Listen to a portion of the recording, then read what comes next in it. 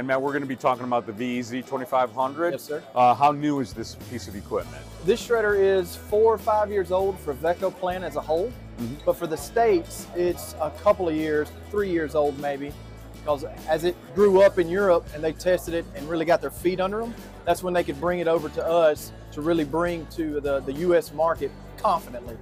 And how has it been received so far? It's very well. It's a, it's a, it's a big shredder, so there's not many needs for it except for large applications, but it's one of our better uh, production pieces of equipment, obviously for its size, but the quality and the size of what we, we do with the rotor and the cutters trying to create a very rugged and robust system internally to the shredder has, has done really well in many applications.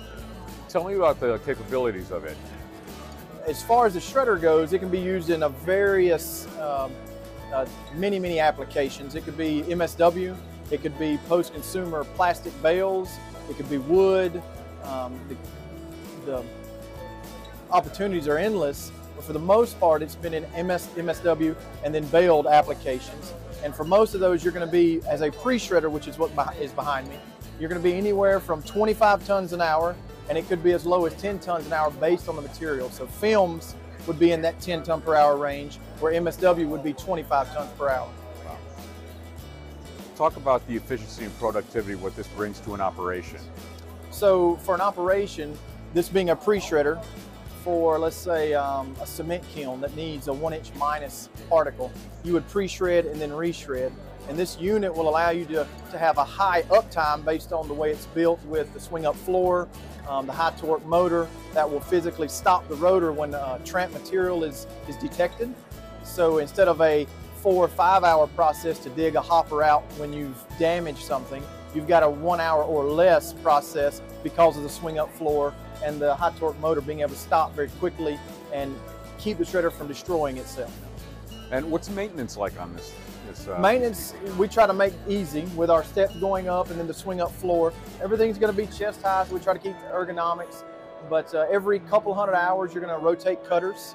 And then after the fourth rotation, you're going to replace those cutters. So you're going to be in the four to three hour uh, process for rotating cutters and about the same to replace them. And Matt, what kind of operation would be ideal for this piece of equipment? Uh, a lot of applications that we've been successful in would be uh, plastics to fuel, uh, waste to fuels, and then a few pure recycling, mechanical recycling operations where they're physically taking the plastics back to uh, through a mechanical process and then back to a virgin resin. But for the most part, plastics to fuel and waste to fuels. I see. Um, anything else about the uh, the VEZ 2500 that I haven't asked you about? You think is uh, should be mentioned here? really for us, uh, there's several shredder manufacturers out there that build a very similar shredder. The main difference is the way we drive the system. The high torque motor, it's electromagnetic drive that will produce over 25,000 foot-pounds of torque, which is the most in the industry. And we have another level up from that will produce 40,000 foot-pounds of torque with two motors, which is again the most in the industry and it's the most efficient. So it's going to save roughly 50% in energy cost compared to its induction motor counterpart.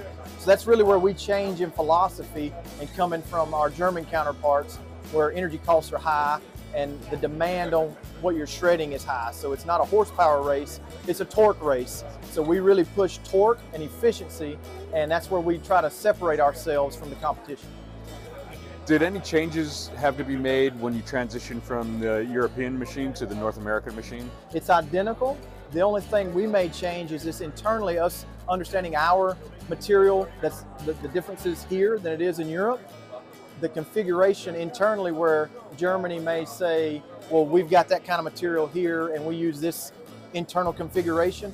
We know our material may be a little different, whether it be uh, the molecular makeup or just the size or the packaging uh, and say, okay, we've ran into that, but we need to make these changes so that the overall machine is the same. It's just a few internal tweaks based on the U.S. market. I see. And uh, again, anything that I can't think of asking you that you, you think might be uh, relevant, Matt? That's getting most of it. Okay, sounds good. Thank you so No, much. thanks for I your really appreciate your time, No, man.